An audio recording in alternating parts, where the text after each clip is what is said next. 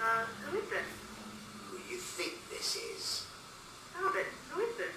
You know very well who I am. You almost got away from me, didn't you? Oh my god. You can't be. You can't be.